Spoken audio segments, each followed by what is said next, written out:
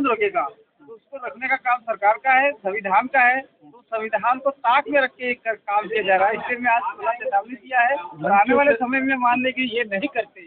तो मैं यहाँ बहुत बड़ा आंदोलन खड़ा करूँगा इसमें हमारे आदिवासी भाई, मुस्लिम भाई एस भाई, ओबीसी भाई, दलित भाई, जो भी प्रताड़ित शोषित वंचित लोग हैं सामान्य जनरल के लोग सबको लेके आंदोलन खड़ा करेंगे। और निश्चित रूप से हम लोग प्रशासन को दिखाएँगे।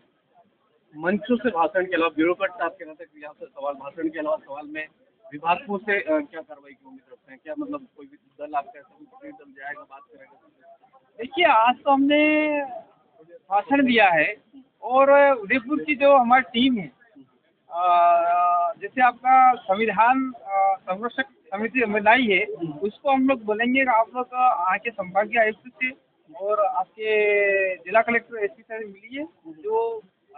कोर्ट चौराह के भगवता की मूर्ति है वहाँ जो आपका स्टेचू लगा स्टेचू लगाया है, वहाँ पर झंडा लगाने के लिए वहाँ हमसे मिलेंगे। दूसरा हमने इस इलाके की ज़मीन को लेकर यहाँ की जो टीम बना रखी है प्रदेश मुक्ति मोर्चा विद्यार्थी मोर्चा और आदिवासी परिवार की समाजी विंगों की टीम है और साथ में अन्य समाज के लोग आना चाहे चाहे दलित हो चाहे आपका माइनॉरिटीज हो जिसकी ज़मीन जा रही है वो आना चाहे तो निश्चित रूप से हम लोग टीम बनाकर भेजेंगे और यहाँ के हमारे जो वर्कर हैं, जैसे दिनेश पांडल हो गए मन्ना रेड्डी भाई हो गए और अमित खिलाड़ी हो गया, ऐसे लोगों को हम भेजेंगे जो भी नामी ग्रामीण लोग सबको भेज के हम लोग उचित कार्रवाई के लिए कहेंगे।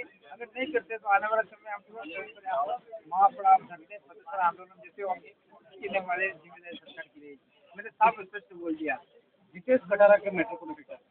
देखिए, जितेश कटारा जीता हुआ व्यक्ति है और उसको जानबूझ के हराया गया है।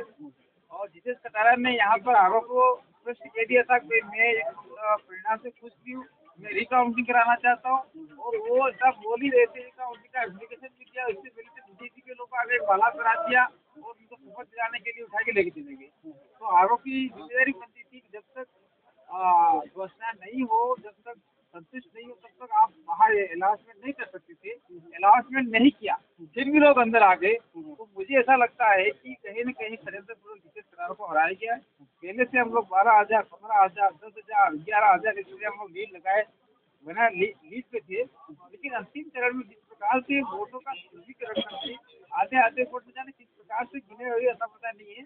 और जिस प्रकार से हरा गया, उसके लिए हमने आरोप को रिप्रेजेंट किया है। उसके बाद में हमने आज कल ही हमने निर्वाचन आयोग जयपुर को भेज दिया है। फिर हम वही लेटर लेके निर्वाचन आयोग दिल्ली को जाएँगे। उसके बाद में हम हाईकोर्ट कोर्ट जाना पर जाएँगे।